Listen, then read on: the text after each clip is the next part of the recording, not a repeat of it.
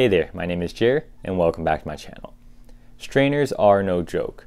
They can and will kill people on the river. And so when I found out on Wilson Creek that a log had fallen in and actually resulted in a really scary rescue situation a few weeks ago, I knew I had to go investigate. And this is what I found. Now, if you're not sure why strainers are such a big deal, let me explain real quick. A strainer is basically anything that allows water to go through, but not objects.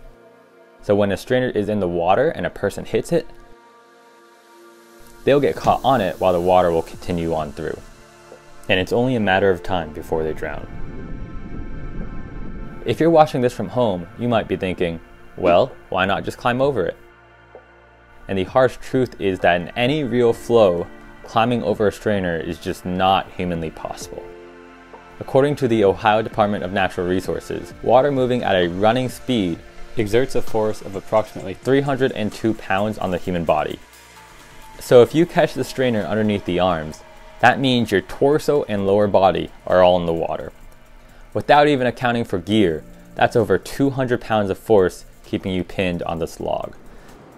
Here's actually an example of a training exercise in which the water is barely even moving, and you can see how this individual still struggles to make it over.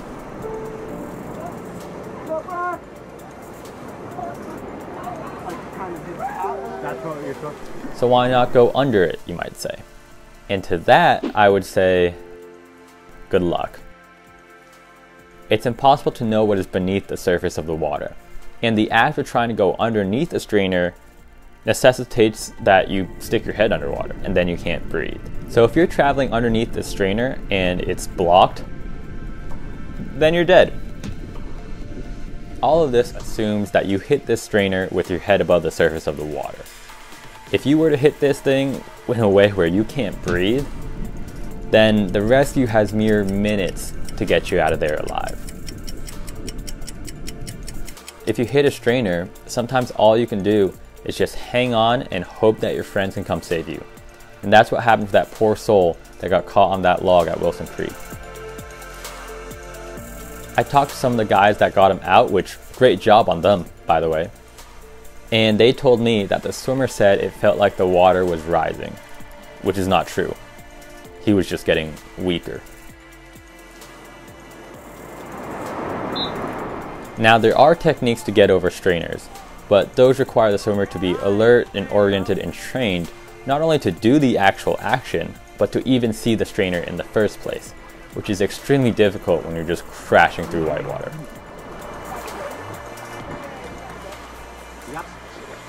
Now this particular log at Wilson Creek is in a really, really bad spot. It's river wide, so there's no going around it. It's barely visible from upstream, so you can't really even see it. And the worst part is that it's located just after Boatbuster and Thunderhole, which are very, very common spots for people to swim.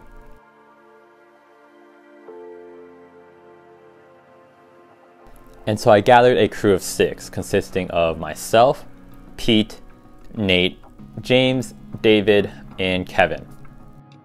Our mission to save the world one log at a time.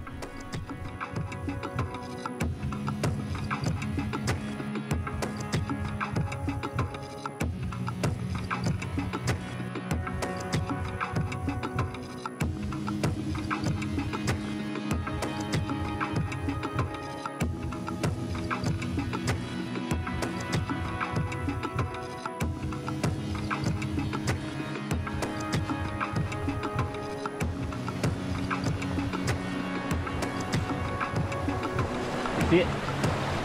We picked a day where the water was down, as that would be the safest time to try and cut this log out. When we arrived at the scene, we came up with a plan. But it's kind of wedged over there weird. Yeah, we just need to pull this way, I think. I think so too. We can get a, like something wrapped around this and maybe pull off in this direction. Yeah, it'll come. It's not going to be heavy. We can get it right, Right here. here? We can pull it up where the chainsaw is. Can you pass this over to him?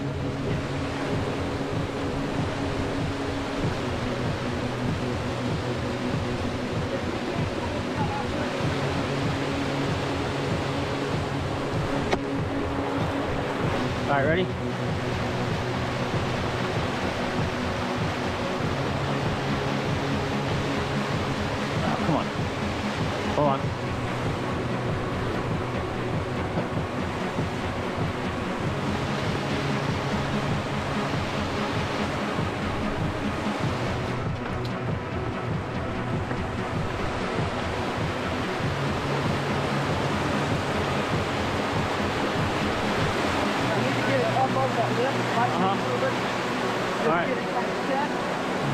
Fun. Wait till I tell you before y'all pull.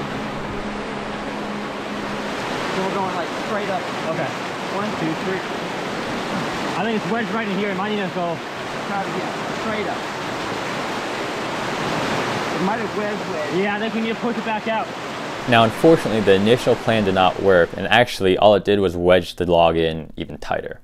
And so, on to plan B. Plan B was to chainsaw the log in place. We would tie an anchor to the bigger end, and once that was loose, swing it down over to the bank where we'd cut it into smaller chunks.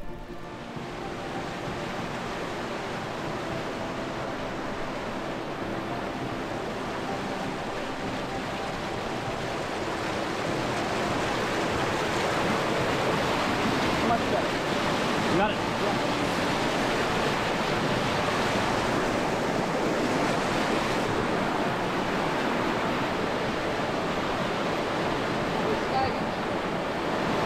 You want to be on the other side of this at all?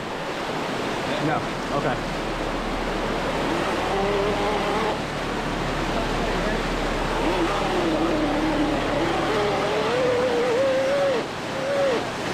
Go, go. Perfect. All right, sweet. It wants to go it's high.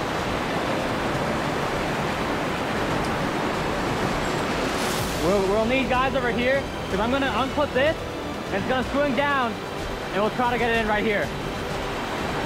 Hold on, hold on.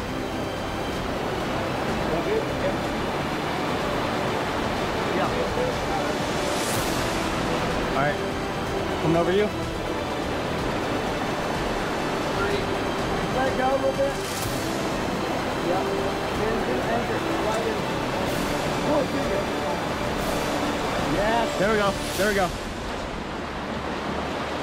You're mine now. And so, with that, the log is cut out into safer, smaller pieces, and Thunderhole is no longer a death trap.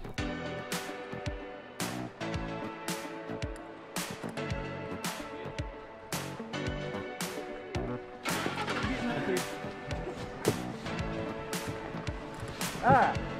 Yeah. Let's go. So we reaped our rewards. A beautiful negative 11 lap on Wilson.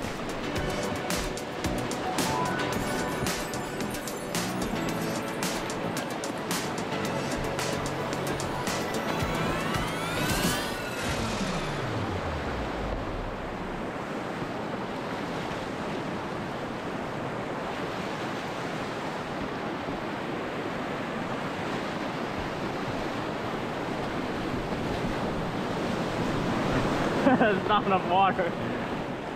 So thank you all for watching. Hit that like and subscribe button, and I'll see you all next time.